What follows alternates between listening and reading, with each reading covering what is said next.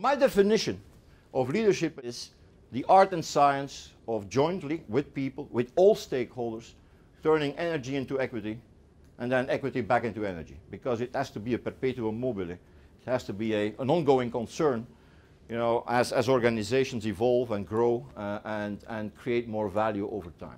I very often say, you know, a CEO is not the chief executive, he has to be the chief energizer, uh, the chief energy officer. Uh, it de facto means that leadership is transformational. You only get there if you get it right. Because if you don't have people behaving in a consistent way, and that doesn't mean in the same way, but in a consistent way, then it's hard to move a company from you know, the current state to the desired state. Very hard. And if you again think about what, what I went through three times, these are big changes. I mean, when I joined consumer electronics at Philips, it was a high volume electronics company. When I left, I think we could say that we were a company, an entertainment company, uh, powered by sound and vision, with the first ingredients of what digital content uh, in the multimedia sense of the word stood for. Uh, if I take the kind of the transform part of my Philips lighting experience as an example, we had 2,500 engineers and about 100 R&D centers all over the world.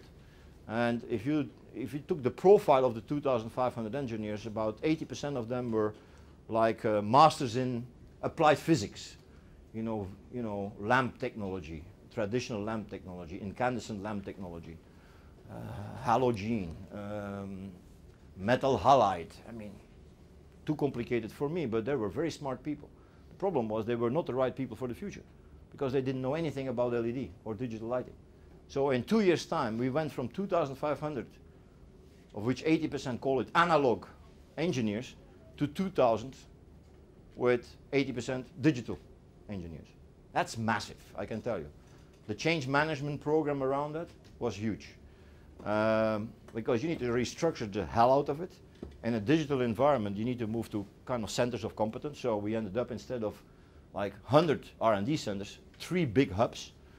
You know, one in the States, one in Asia, one in Europe, uh, with some satellites. Again, competence centers or sub-competence centers.